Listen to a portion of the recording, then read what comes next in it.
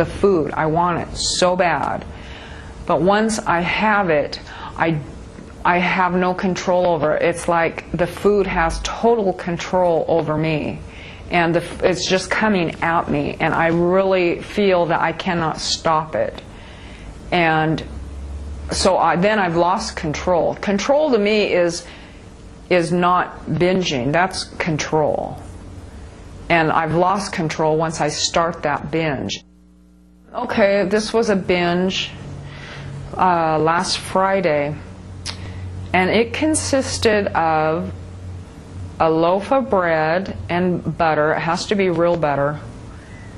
Um, a big plate, big dinner plate of scra- now this is food from work, so this is I, I'm describing the food that was available to me at that time. Um, a big plate of scrambled eggs and hash browns. I, I mean, a big plate. Um, and a loaf of bread and butter.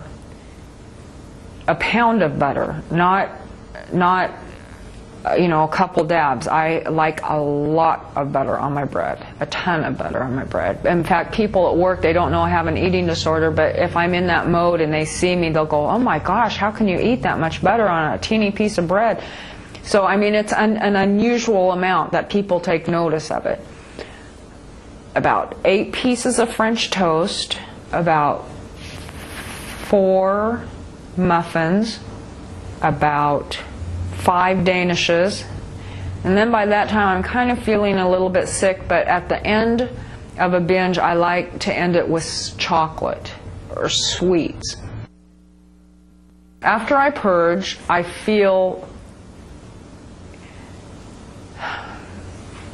well, I feel like, thank God I could get this all out.